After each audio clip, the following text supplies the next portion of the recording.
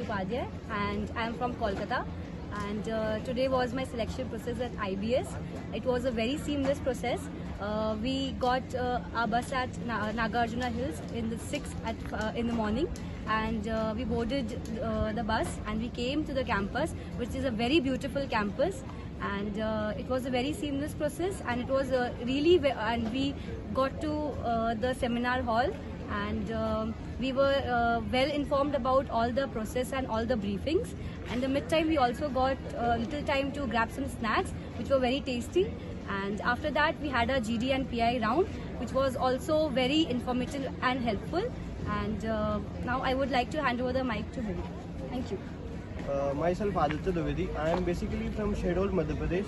Uh, since uh, we came uh, here since morning, and uh, I feel like since the the whole process was very fluent and uh, yeah, it was very easy process. And uh, yeah, going towards the GD and PI round, it was also mind blowing and very informative.